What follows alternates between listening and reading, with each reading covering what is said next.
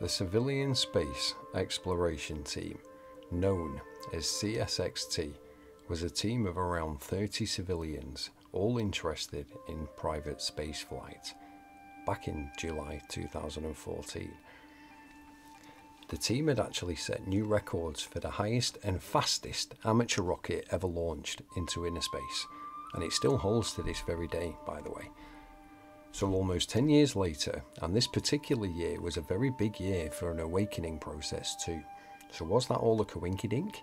Well, this is why I think we all need a little reminder of this, or if you haven't seen it, well, maybe it's going to be one of the most scariest real videos you may see of your entire life. Much better than any ghost or paranormal channel, or upload if that's your thing. So, only two amateur rockets to have reached the 70 plus mile mark, well, three really, but we'll get to that later. Two for now have been the CSXT's Go Fast rockets. So, the one of 2014 Analysis of the data from the recovered military grade inertial measurement unit, the IMU, that flew on board shows that the GF rocket reached an altitude of 385,800 feet, directly straight up. Not curved into the ocean somewhere out of the public attention, but straight up.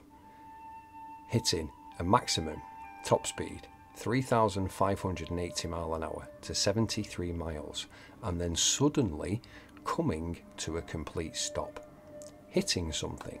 Depending on what video you're going to be watching of this, of course, due to the very clever editing from certain powers that be.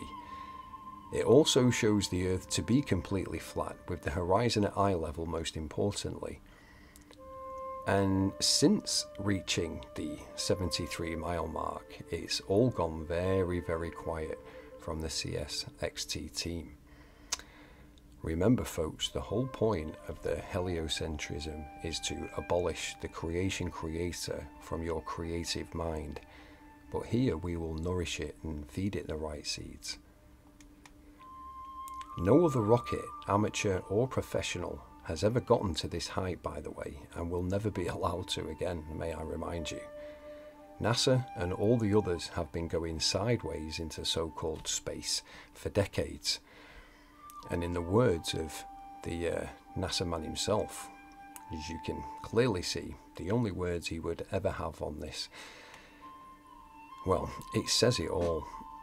But unless you can fund this, of course, NASA made Musk a billionaire because he did the same thing many, many years ago. And he was really number one. But he was a young man with a pyrotechnic dream, not a whole team and the internet to work with. But we best not talk about that. But this is the part, friends, of the upload. Only you decide what you believe or what you won't believe because this rocket does come to a very abrupt stop at Mach like nearly 5, 4.7 Mach, 73 miles up. So, as you're about to watch to make up your own mind, this is going to be the unedited version of the Go Fast rocket of 2014, suddenly coming to a complete stop at 73 miles.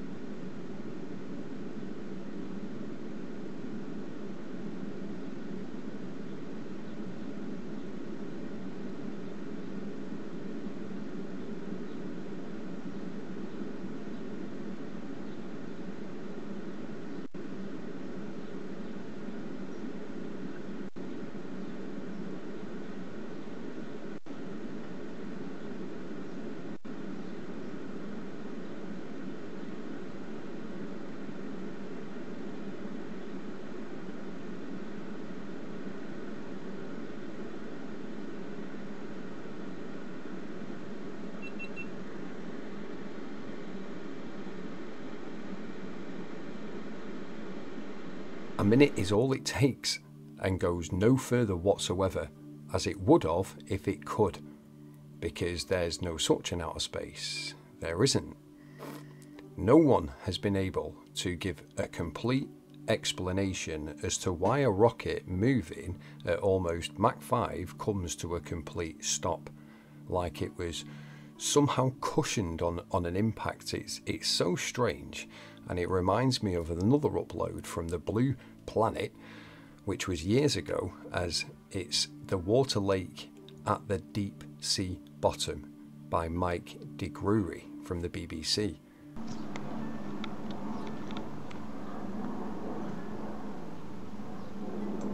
The strangest places on the ocean's floor was only just discovered in the 1990s.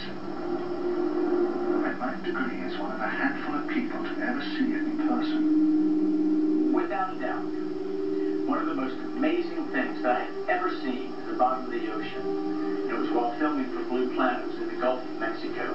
I noticed there's something out in the distance. Couldn't tell exactly what, but it looked like a dark band. And as we approached it, the dark band became a donut. I saw this donut. It was black in the center. What the heck is that? And so, as we get closer and closer to it, I noticed that the black band had what appeared to be kind of steam over it. And then I looked, and there was water lapping against the shoreline. This band was a ring of mussels And inside the ring of mussels was a lake. And it's like, wait a minute, I'm already underwater. We went out over the water lake and tried to descend it and bounced off. It was so super saline and dense that the submarine couldn't go down it. We literally bounced off. And as we bounced off, we sent ripples heading back to the shoreline. It was insane. I've never seen anything like it. As above, so below. The waters above and the waters below. The truth is, there is only inner space that's been created for us to live under. So, it's then after a few seconds of being stopped, the rocket then releases its booster because it can't go no further up. And that's it, folks, flat out. The sky's had its limit. The end of the ether. We're on the level. We got there in five minutes flat, well, 55 seconds flat.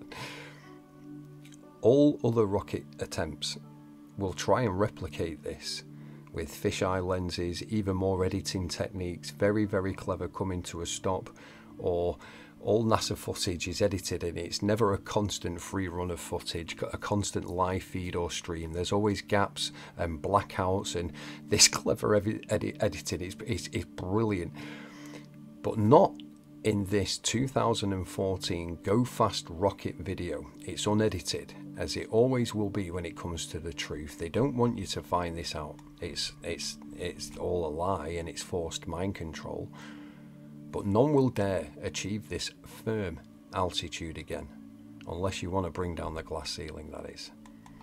So 73 miles, vertical miles, straight up, seems to be the point of the Truman Show that we're under the dome, the firmament, the raqia, the molten looking glass, the fishbowl, and thus 63,000 miles in circumference. And we've got home sweet home, the real inner space, the creation that we all live under. If you do fear ordinary people judging you, well, what do you think the Lord's going to do? And it's He that holds all the keys and all the glory in heaven above. Please remember this. Realize, realize, realize. You take care.